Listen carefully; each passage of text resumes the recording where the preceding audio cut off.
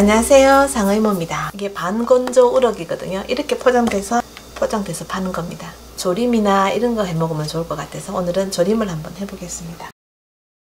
지느러미를 다 제거해주고요. 무도 괜찮고요. 이렇게 감자도 괜찮습니다. 큼직하게 잘라서 냄비에 들어갈 만한 곳에 넣으시면 될 것 같아요. 감자는 이렇게 밑에다 깔아주시고요 대파 한 뿌리거든요. 이렇게 큼직하게 썰으셔도 됩니다. 이렇게. 풋고추 있으시면 몇 개만 쓰겠습니다. 물론 양파도 있으면 한 개 쓰셔도 되고요. 고춧가루를 이렇게 듬뿍 두 스푼 넣고요. 고추장을 두 스푼 넣겠습니다. 뭐 소주든 맛술이든 상관없습니다. 이렇게 또 두 스푼 넣어보겠습니다. 이렇게 진간장은 소주잔 반잔 25ml고요. 한 두 스푼 반 정도 됩니다. 저는 올리고당이나 물엿을요. 소주잔 하나고요. 50ml고 5스푼입니다. 후춧가루 이렇게 작은 커피 스푼으로 약간 넣겠습니다. 마늘 다진 거, 저는 냉동 마늘 다진 거 한 스푼 반 나왔습니다. 자 이렇게 또 물을 좀 탈게요.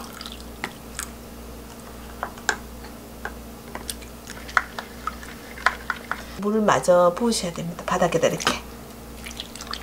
한 컵 정도는 넣어야지 이게 충분히 졸여지거든요. 이걸 부어주면 됩니다. 이렇게. 자, 이제는 불을 펴고 뚜껑도 이렇게 덮어주고요. 한 20분이면 다 될 것 같습니다. 자, 이렇게 끓고 있으면은요, 조금 불을 낮춰서 감자를 익혀줘야 되거든요. 근데 감자가 익는 시점은 고기도 사실은 익어요. 그 다음에는요. 나머지 국물은 졸여주기만 하면 되거든요. 불은 일단 약불로 했습니다.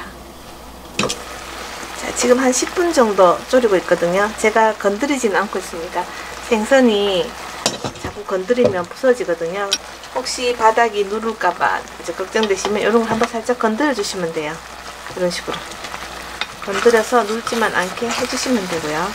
또 혹시 국물이 부족하다 싶으면 조금 더 추가하셔도 됩니다. 여기서요 국물이 부족하면 좀 더 넣겠습니다.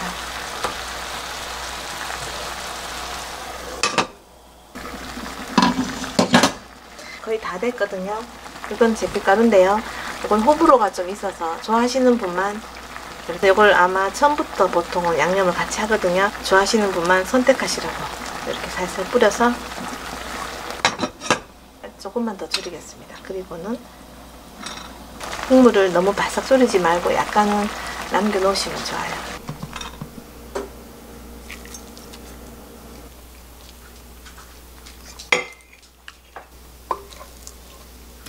반건조 우럭 조림 다 됐습니다. 상해모였습니다. 감사합니다.